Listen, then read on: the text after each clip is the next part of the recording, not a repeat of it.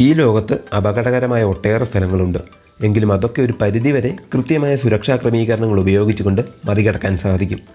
പക്ഷേ എത്ര മുൻകരുതലെടുത്താലും എത്ര സുരക്ഷാ ഉപകരണങ്ങൾ ഉപയോഗിച്ചാലും മനുഷ്യനോ യന്ത്രത്തിനോ പോലും ജീവനോടെ നിലനിൽക്കാൻ പറ്റാത്തൊരു സ്ഥലമുണ്ട് ഈ ഭൂമിയിൽ. ഇത്രയേറെ അപകടകരമായ സ്ഥലം ചെറിയൊരു മുറിയാണ് എന്നതാണ് അതിനേക്കാളേറെ കൗതുകകരമായ കാര്യം. ഈ മുറി എവിടെയാണ് എന്ന് ചോദിച്ചാൽ ഉക്രൈനിൽ എന്നാണ് ഉത്തരം. നിങ്ങളിൽ വളരെയധികം പേരും കേട്ടിരിക്കാൻ സാധ്യതയുള്ള ആ രാജ്യത്തിലെ പ്രിപ്പയാറ്റ് എന്ന നഗരത്തിലാണ് ഇത് സ്ഥിതി ചെയ്യുന്നത്.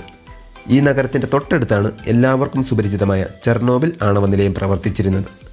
മുപ്പത്തിനാല് വർഷങ്ങൾക്ക് മുമ്പ് ആയിരത്തി തൊള്ളായിരത്തി എൺപത്തി ആറിൽ ചെർണോബിൽ പൊട്ടിത്തെറിച്ചതും ലോകത്ത് അന്നുവരെ കണ്ടിട്ടില്ലാത്ത രീതിയിൽ അതിഭീകരമായ ഒരു ദുരന്തം അരങ്ങേറിയതും നമുക്കറിയാവുന്നതാണ്. ചെർണോബിൽ എന്ന ടി സീരീസ് കണ്ടിട്ടുള്ളവർക്ക് അതെങ്ങനെ പൊട്ടിത്തെറിച്ചു എന്ന് കൃത്യമായി മനസ്സിലായിട്ടുണ്ടാവും. ആയിരത്തി തൊള്ളായിരത്തി എൺപത്തി ആറ് ഏപ്രിൽ ഇരുപത്തി അർദ്ധരാത്രിയിൽ ആണവ നിലയത്തിന്റെ ടെസ്റ്റിംഗ് നടത്തുന്നതിനിടയിൽ നാലാം നമ്പർ റിയാക്ടറിന്റെ പവർ വളരെ പെട്ടെന്ന് അതിഭീകരമായ രീതിയിൽ കൂടുകയും അതിനെ തുടർന്ന് റിയാക്ടറിന്റെ ഉള്ളിലെ കോറിന്റെ താപനില വർദ്ധിച്ച് അതൊരു ചെയിൻ റിയാക്ഷൻ പോലെയായി മാറി ഒരു വലിയ സ്ഫോടനത്തിൽ കലാശിക്കുകയും ചെയ്തു.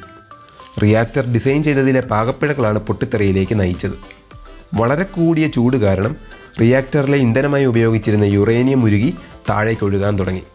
തിളയ്ക്കുന്ന ലാവ പോലെയായി തീർന്ന ഇത് ആറുമാസം കൊണ്ട് റിയാക്ടറിന്റെ കവചവും താഴെയുള്ള കോൺക്രീറ്റിന്റെ തറയും പൈപ്പുകളും ഒക്കെ നിസ്സാരമായി ഉരുക്കിക്കൊണ്ട് താഴെ ബേസ്മെന്റിലുള്ള ഒരു മുറിയിലേക്ക് ഒഴുകിയെത്തി. അവിടെ ഇരുന്ന മിശ്രിതം പതുക്കെ തണുക്കാൻ തുടങ്ങി.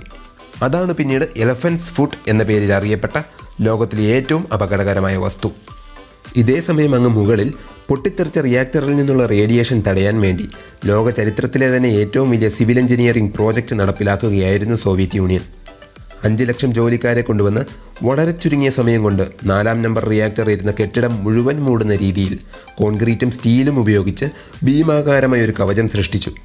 ഇതിന്റെ ഉള്ളിൽ ഇപ്പോഴും റേഡിയോ ആക്റ്റീവായി ഇരുന്നൂറ് ടൺ കോറിയവും പതിനാറ് ടൺ യുറേനിയവും പ്ലൂട്ടോണിയും സൂക്ഷിച്ചു വെച്ചിട്ടുണ്ട്.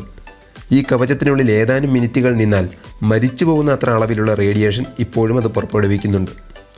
ആയിരത്തി തൊള്ളായിരത്തി എൺപത്തി ആറ് ഏപ്രിൽ മാസത്തിൽ സ്ഫോടനം സംഭവിച്ചെങ്കിലും ഡിസംബറിലാണ് ബേസ്മെന്റിലുള്ള ഈ എലഫൻസ് ഫുഡ് ശാസ്ത്രജ്ഞന്മാർ കണ്ടുപിടിക്കുന്നത്. ഒരു റിമോട്ട് കൺട്രോൾ ക്യാമറ ഉപയോഗിച്ച് അതിന്റെ ആദ്യത്തെ ഫോട്ടോയും എടുത്തു. വെറും രണ്ട് മീറ്റർ മാത്രം നീളമുള്ള ആ വസ്തുവിന് ഏകദേശം നൂറ് ടൺ വെയിറ്റ് ഉണ്ടായിരുന്നു. ഇതിനെ ഇത്രയേറെ അപകടകരമാക്കുന്നത് എന്താണെന്ന് വെച്ചാൽ ഒരു മണിക്കൂറിൽ ഇത് പുറപ്പെടുവിക്കുന്ന റേഡിയേഷൻ പതിനായിരം റോണ്ടജനായിരുന്നു. എന്ന് വെച്ചാൽ ഒരു മുപ്പത് സെക്കൻഡ് അതിന്റെ അടുത്ത് നിന്നാൽ തലകറക്കവും വല്ലായ്മയും ഫീൽ ചെയ്യാൻ തുടങ്ങും. ഒരു രണ്ട് മിനിറ്റ് നിന്നാൽ പനിയും രക്തം ഛർദ്ദിക്കലും തുടങ്ങും. അതല്ല ഒരു അഞ്ച് മിനിറ്റ് നിന്നാൽ അടുത്ത രണ്ട് ദിവസത്തിനുള്ളിൽ ഉറപ്പായി മരിച്ചിരിക്കും. ഈ റേഡിയേഷൻ ഇലക്ട്രോണിക് ഉപകരണങ്ങളുടെ പ്രവർത്തനത്തെയും സാരമായി ബാധിക്കും. ഈ ഫോട്ടോ പ്രേതം കയറിയതുപോലെ ഇരിക്കാൻ കാരണം റേഡിയേഷന്റെ എഫക്റ്റ് ക്യാമറയുടെ ഫിലിമിൽ വന്നതാണ്. ഈ കാണുന്ന മനുഷ്യനും ഫോട്ടോ എടുത്തയാൾക്കും എന്ത് സംഭവിച്ചു എന്ന് ആർക്കും അറിയില്ല. അന്ന് ഇത് എത്രത്തോളം അപകടകരമായ വസ്തുവാണെന്ന് ആർക്കും അറിയില്ലായിരുന്നു. എന്നിരുന്നാലും കാലം കഴിയും തോറും അതിന്റെ റേഡിയേഷന്റെ അളവ് കുറഞ്ഞു വരുന്നുണ്ട്. തൊണ്ണൂറ്റിയാറിൽ നടത്തിയ ഒരു പഠനത്തിൽ കണ്ടത് അപ്പോൾ ഒരു മണിക്കൂർ അതിന്റെ അടുത്ത് നിന്നാൽ മാത്രമേ മരണം സംഭവിക്കൂ എന്നാണ്. പണ്ടത്തെ അഞ്ച് മിനിറ്റിനേക്കാൾ ഭേദമാണല്ലോ. എലഫൻസ് ഫുഡ് ഇപ്പോഴും നല്ല ചൂടാണ്. അത് കിടക്കുന്ന കോൺക്രീറ്റ് തറ ഇന്നും ഉരുകിക്കൊണ്ടേയിരിക്കുന്നു അതിനിയും താഴേക്ക് പോയി അടിയിലുള്ള ഭൂഗർഭജലവുമായി കൂട്ടിമുട്ടിയാൽ ഒരു വലിയ ദുരന്തത്തിനുള്ള സാധ്യത വീണ്ടുമുണ്ട്. അടുത്തുള്ള ജനവാസ കേന്ദ്രങ്ങളിലെ കുടിവെള്ളവും മലിനമാകും. എന്തായാലും ഇനിയുള്ള കാലം മുഴുവൻ ഈ എലഫൻസ് ബൂട്ട് ആ വലിയ സുരക്ഷിത കവചത്തിനുള്ളിൽ ഭദ്രമായിരിക്കും എന്ന് വിശ്വസിക്കാം. അതിനിയും ഒരു ലക്ഷം വർഷത്തേക്ക് റേഡിയേഷൻ പുറപ്പെടുവിച്ചുകൊണ്ടേയിരിക്കും. അതുകൊണ്ട് ലോകത്തിലെ ഏറ്റവും അപകടകരമായ സ്ഥലങ്ങളിലേക്ക് പോകാൻ നിങ്ങൾക്ക് താല്പര്യമുണ്ടെങ്കിൽ ഈ സ്ഥലം ഉറപ്പായിട്ട് നിങ്ങൾക്ക് പരിഗണിക്കാവുന്നതാണ്.